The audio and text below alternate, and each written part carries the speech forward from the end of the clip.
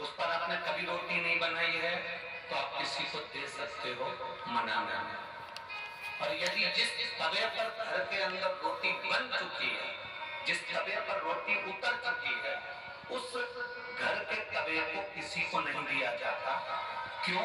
क्योंकि घर में जो बच्चे हैं, वो बीमार की बीमार बने ही रहते हैं, वो कभी स्वस्थ नहीं हो सकते। कभी नहीं हो सकते। बच्चा बीमार है तो दूसरा ठीक होगा, दूसरा बीमार है तो तीसरा ठीक होगा, तीसरा है तो चौथा बीमार पड़ेगा, ये निश्चित।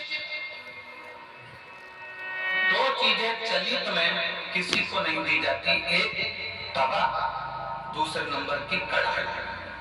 घर में जो कढ़ाई होती है, जिसमें आप सब्ज़ी बना ली है, कोई सामग्री तल ली आपने पूरी बना ली, कोई सब्ज़ी बना ली, कोई हलवा बना लिया, सीरा बना लिया, कोई पदार्थ बना लिया कोरी कढ़ाई है ना, आपकी मर्ज़ी पड़े उसको दे दो, चले। कोरी कढ़ाई है ना, आप किसी को भी दे सकते हो।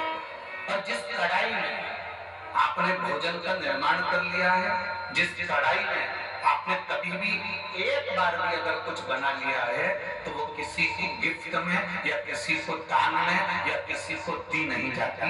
नहीं तो उस घर के अंदर एक रुपया कमाओ सवा रुपए खर्च वाला काम चलता है। घर में कभी पैसा टिक ही नहीं सकता ज़िंदगी भर के कभी प्रयास। है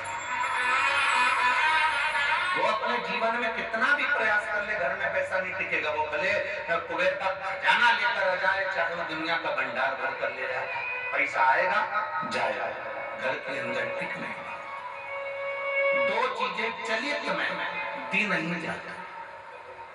आपको बोलना है कौन कौन सी चीज़ें हैं? पहले नंबर की दूसरे नंबर की? हमारे यहाँ ये दो चीज़ें दी नहीं हम इसको देते नहीं। देना है।